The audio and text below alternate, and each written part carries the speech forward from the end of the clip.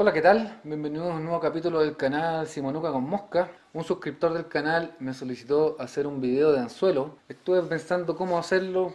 eh, no se me ocurrió algo muy estructurado, pero sí voy a pasar por las cosas básicas que hay que fijarse en un anzuelo. Así como hay distintos tipos de mosca, streamers, wet, secas y ninfas. Para cada tipo de mosca existe un tipo de anzuelo. Todos los anzuelos normalmente vienen en cajas de 25, como pueden ver ahí, o de 100. Para las personas que atan bastante anzuelo, también hay de 1000. Y mientras más anzuelos compren en una, en una caja, salen más baratos.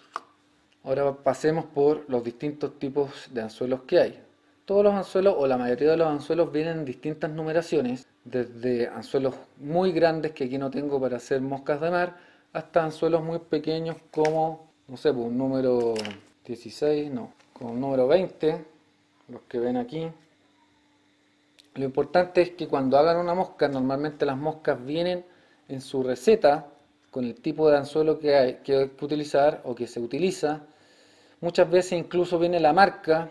Voy a dejar un link en donde pueden ver una tabla para hacer la conversión a la marca y modelo del tipo de anzuelo que tengan ustedes. Pero por lo general no viene la marca y dice cosas como número 18 XL, número 18 XL. Eso quiere decir que es un anzuelo número 18, pero la espina del anzuelo, voy a mostrarlo con otra caja, la espina o las columnas del anzuelo, o el chunk como se llama en inglés, es una vez más larga de un anzuelo normal. Ahora bien, para moscas o streamers también se utilizan anzuelos que son el que tienen el chunk o la espina o la espalda del anzuelo dos veces más largo para que así podamos poner todo el material que necesitamos para hacer la imitación. También hay anzuelos que a pesar de que sean iguales entre comillas en tamaño o numeración del anzuelo, como pueden ver este es un número 10, el alambre o el grosor del material con que se hace el anzuelo cambia. Normalmente para las moscas secas el anzuelo o el material es más delgado para que no pese tanto y así nuestra imitación flote de mejor manera en el agua. Por el contrario, si estamos atando ninfas, normalmente el acero del anzuelo es más grueso para que el peso del anzuelo apoye o ayude a llevar esa mosca a la profundidad que deseamos. Voy a dejar un link aquí a un video en donde usualmente en el 80 o 70% de las veces es muy cerca o a unos 3 pulgadas dependiendo del fondo del río. Ahora también hay anzuelos que tienen distintas formas, como pueden ver lo que uno se le viene a la cabeza en un anzuelo es esta forma, esta es la forma clásica de un anzuelo, en este caso un anzuelo para mosca seca. Pero como pueden ver en esta foto, en esta imagen,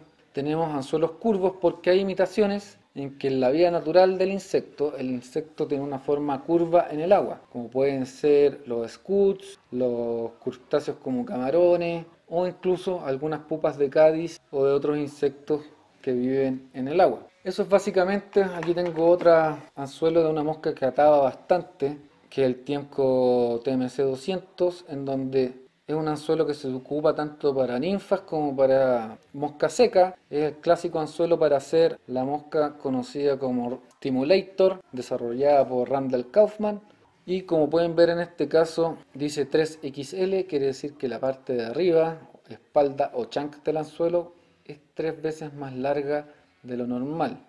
Todos los anzuelos y la numeración del anzuelo tienen relación con el tamaño que hay o la distancia que hay entre la punta del anzuelo y la espalda del anzuelo que se denomina gap.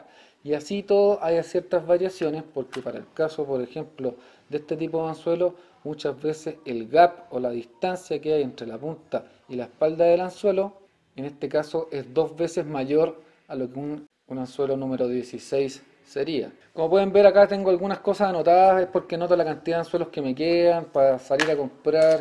Últimamente he estado comprando cajas de 100, aunque no ato mucho, pero sí tengo variedad de anzuelos para hacer las moscas que normalmente ato. Ese es un truquito o un tip que les puedo dar porque uno puede terminar con muchos anzuelos que nunca usa y por lo tanto es importante hacer compras, entre comillas, inteligentes pensando en los anzuelos que más atamos. Normalmente en mi caso los anzuelos o las moscas, perdón, que más ato son moscas pequeñas, en numeraciones chicas, y tengo varios que son anzuelos tipo scoot porque hay un sector acá cerca de Calama, no tan cerca, pero en donde hay mucho scoot y he visto que si es que ato una wet de esta forma imita bastante bien a un scoot color plomo que hay en algunos sectores de acá del norte. Eso es básicamente lo que les puedo contar de, los anzuelos, como les, para resumir, un anzuelo normal está definido por su numeración y cuando ya empiezo a ver XL o 2XL en la caja, no todas las cajas dicen la recomendación para lo que es el anzuelo, pero aquí pueden ver que esta caja dice 2XL, eso quiere decir que la parte de arriba del anzuelo es dos veces más larga, dice 2X heavy, quiere decir que el alambre es dos veces más grueso que un alambre normal y como pueden ver además en este caso dice ninfas y streamer. En anzuelos más genéricos como estos también indica el tipo de mosca ideal con el que uno puede, o la para, el que fue diseñado, y en este caso también indica que una vez más larga. Sin embargo, en muchos anzuelos Mustad, como pueden ver aquí, no dice nada. Dice para el tipo, para mosca, la cantidad en la numeración, pero no dice si es que es XL, si es más largo, si es más corto. Si se fijan, aquí lo mismo. Uno puede buscar ese número de referencia en internet para interesarse de qué se trata pero este anzuelo es un 2XL en numeración 8 y así.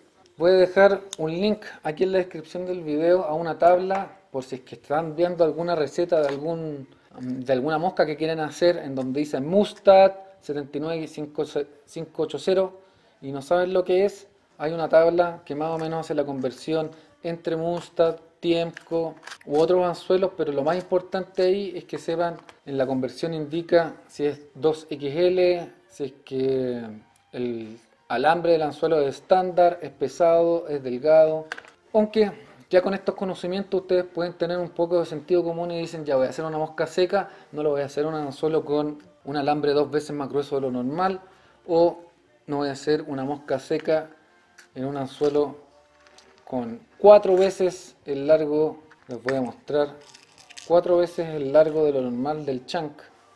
Este es cuatro veces el largo. Lo otro que pueden, les puede servir para ayudarse cuando tienen muchos anzuelos es utilizar un medidor de anzuelos y si se fijan, como les explicaba en el video, la medida del anzuelo tiene que ver con la distancia que hay entre la punta del anzuelo y, la espalda del anzuelo chunk, salvo para el caso de anzuelos con dos veces el gap, que ya empieza a cambiar un poco.